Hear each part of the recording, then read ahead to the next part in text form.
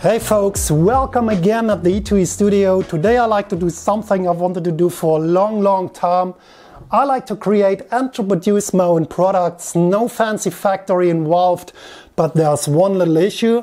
I have absolutely no clue how to create and to produce products, but I'm not an idiot, so I like to start simple. You have seen in the title and the thumbnail what I like to do bike handles because they are super simple, mainly a tube, so they should be easy to create and hopefully easy to produce. At least that's what I'm thinking at this point where I started. So let's find out if I end in disaster or if I end with super squishy and super soft silicone bike handles. Let's try.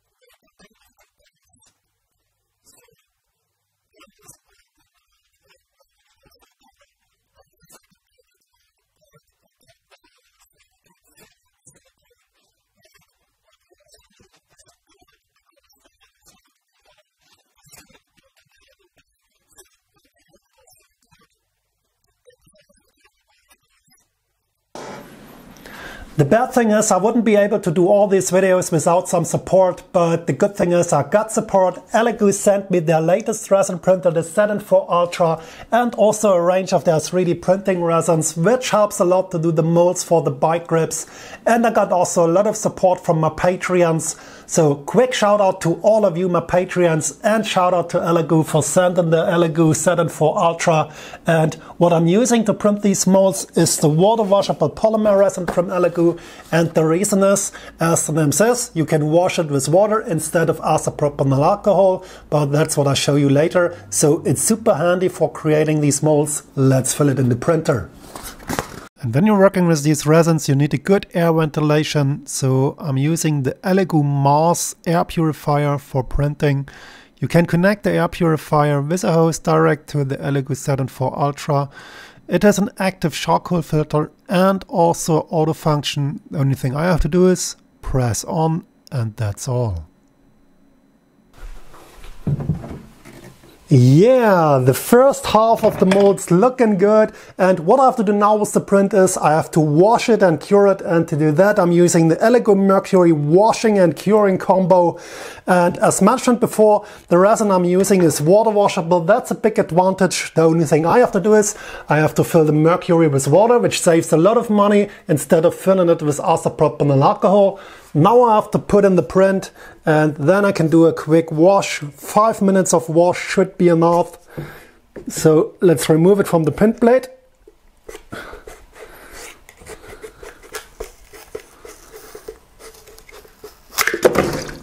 And off we go.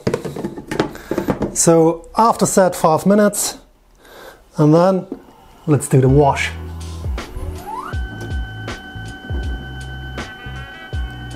And after washing the part, I have to cure it with UV light. And to do that, I'm using the Elegoo Mercury UV station.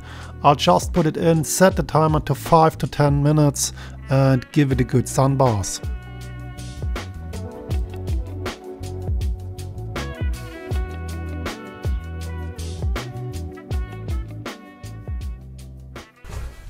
Yeah, I have all parts for the mold, but there are some issues as expected. The first issue is my registration points are too big due to my lack of 3D construction expertise, so I can't slip these two parts into another, but I guess I can solve this with a drill. But there's also another issue, check this out. So can you see the light shining through the gap in between the tabletop and the part itself? And that's caused by warping of this part. It warped in one of these edges and in theory these parts should be dead flat onto the table, but it's not and hopefully I can solve this issue with a bit of sanding.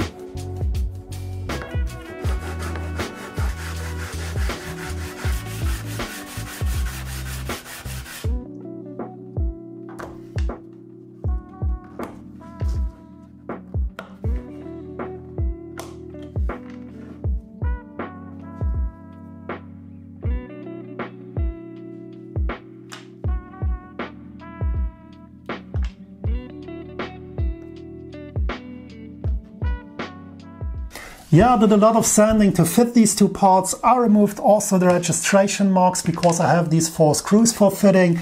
And now I run into another issue. The hole for the plug is no longer round, so the plug won't fit in. And the only solution I can imagine is to Dremel the hole until the plug will fit in these two parts.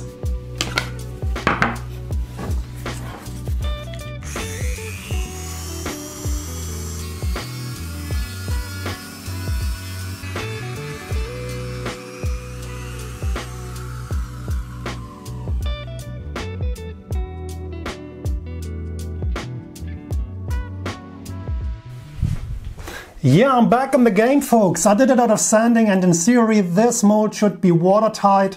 And I have to find out what's the volume of the grip, what's the volume of the silicone I have to mix. And that's exactly a good opportunity to find out if this mold leaks or if it's tight because I like to add some water. Then I like to add the plug and the rest of the water should be exactly the volume of silicone I need for the grip. So let's do it. Let's put in some water and let's find out if this mold leaks and what's the volume of the silicone I need for the grip. Yeah, one or two drips, but it's not that bad because the silicone is much thicker. So let's put in the plug.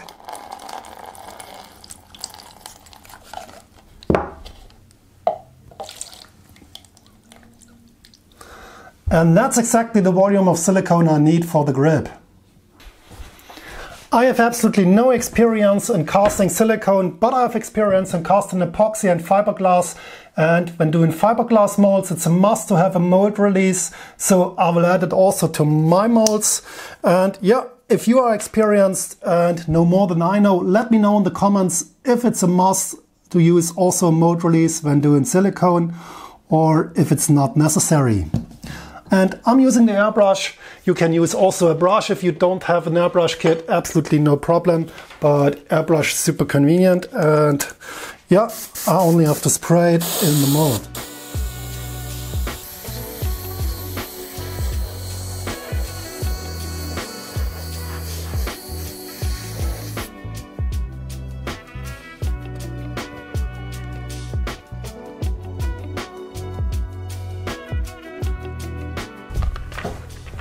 The moment of truth, folks, my first silicone cast. And what I'm using is a two component silicone, Shore 32, so medium hard.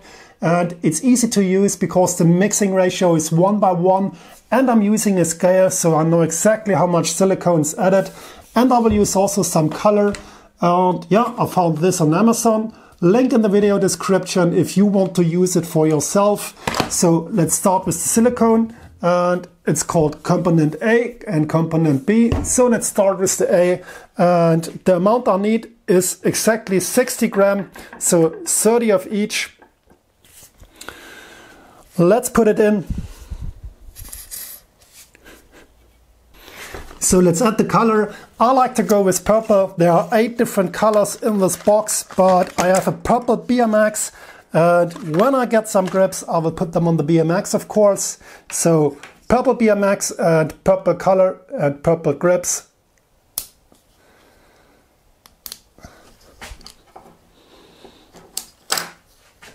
And I have absolutely no idea how much color I have to add. So let's put in some drops. One,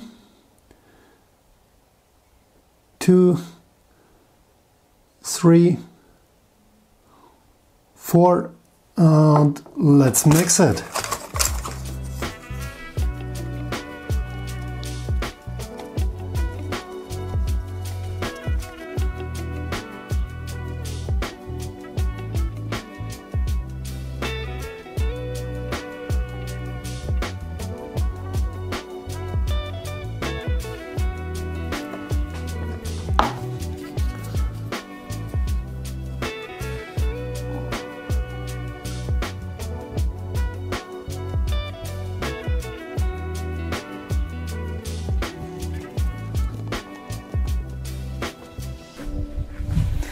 Yeah, three hours later, and this block is either a disaster or maybe a bike grip. I'm not that optimistic because the mold split on two edges, but let's find out.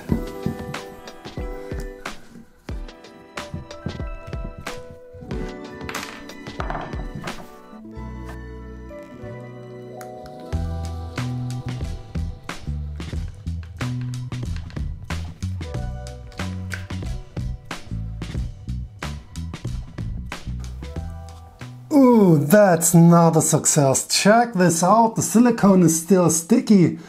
Ah, disgusting. Yeah, the mold broke and it seems there's a lot of water on the mold because, ooh, there's a little hole.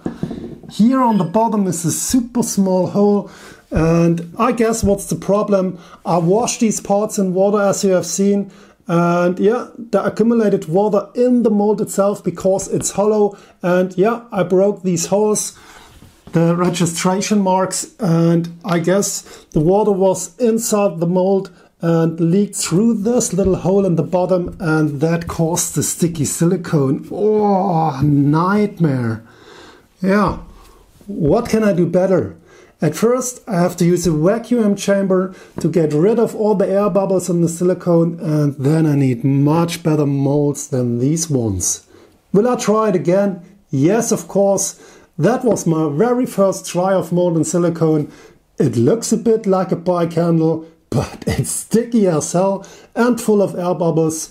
And that's what I have to solve before I can do my next bike handle. So yeah, thank you for watching. I hope you learned from my mistakes. Thanks for your time. See you in the next video. Goodbye. Oh.